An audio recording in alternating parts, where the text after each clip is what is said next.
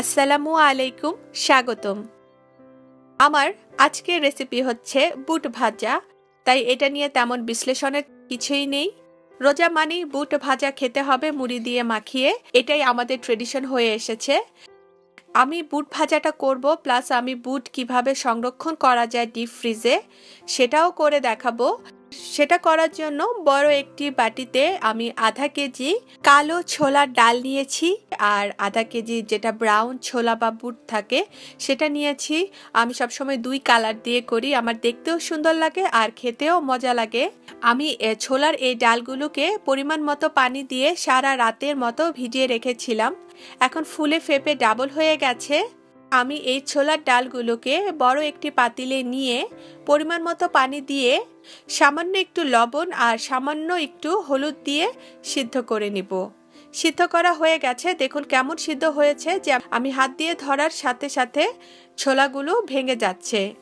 এখন এই ছোলাগুলোকে আমি ঠান্ডা হতে দিব। এরপর এরকম ছোট ছোট পলিথিন ব্যাগে আমার যতটুকু পরিমাণে বুট লাগবে প্রতিদিন ভাজার জন্য আমি সেই আন্দাজে বুট নিয়ে নিচ্ছি।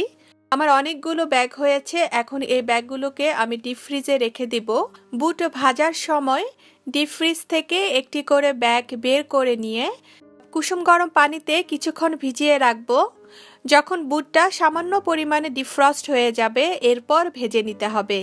আমি নর্মালি যেভাবে বুট ভাজি, সেভাবে ভেজে দেখাচ্ছি। চুলায় একটি কড়াই নিয়ে আমি চার টেবিল চামচ তেল দিয়ে দিলাম। তেলটা গরম হলে এক কাপ পেঁয়াজ আর তিন চারটি টুকরো করে কাটা কাঁচামরিচ দিয়ে দিব। লবণ দিয়ে দিব পরিমাণ মতো, এরপর কিছুক্ষণ ভেজে নিব। ভাজা হয়ে গেলে এর মাঝে আমি দিয়ে দিব এক টেবিল চামচ আদা বাটা আর এক টেবিল চামচ রসুন বাটা। দিয়ে দিচ্ছি এখানে আধা কাপ টুকরা করে কাটা টমেটো কুচি। সাথে দিয়ে দিব এক চা চামচ হলুদ গুঁড়া চা চামচ লাল মরিচের গুঁড়া, এক চা চামচ টালা জিরা গুঁড়া, আধা চা চামচ ধনিয়া গুঁড়া দিয়ে দিব। দিয়ে এক মিনিটের মতো ভেজে এর মাঝে আমি আধা কাপ পানি দিয়ে দিব। পানি দিয়ে আরও এক দুই মিনিটের মতো মশলাগুলোকে কষিয়ে নিব। এরপর দিয়ে দিব এক কাপ ছোট ছোট কিউব করে কাটা আলু। আলু দিয়ে নেড়ে চেড়ে ঢাকনা দিয়ে দিব। আলু দিয়ে কিছুক্ষণ রান্না করার পর পানিটা যখন অল্প একটু কমে আসবে, এর মাঝে দিয়ে দিব দেড় কাপ সিদ্ধ করা বুট। আর দিয়ে দিব এখানে দুই চা চামচ চাট মশলা গুঁড়া। চাট মশলার রেসিপি লিঙ্ক ডিসক্রিপশন বক্সে পেয়ে যাবেন। চাট মশলা গুঁড়া দিয়ে আরও তিন চার টেবিল চামচ পানি দিয়ে নেড়ে চেড়ে ঢাকনা দিয়ে দিব। পানিটা একদম কমে আর আলুটা সিদ্ধ হওয়া পর্যন্ত অপেক্ষা করতে হবে। চুলার আঁচটা মাঝারি থেকে কমে রাখতে হবে। পানি একদম শুকিয়ে গেছে।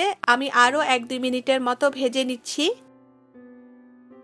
এখন এর মাঝে চার পাঁচ টেবিল, চামচ, কুচি করে কাটা ধনিয়া পাতা দিয়ে দিব। দিয়ে ভালো করে মিশিয়ে চুলা থেকে নামিয়ে নিব। মজাদার বুট ভাজা বা ছোলা ভাজা তৈরি। আশা করব আমার আজকের এই ভিডিওটি আপনাদের ভালো লাগবে। ভালো থাকবেন সবাই। আজকের মতো বিদায় আল্লাহ হাফেজ।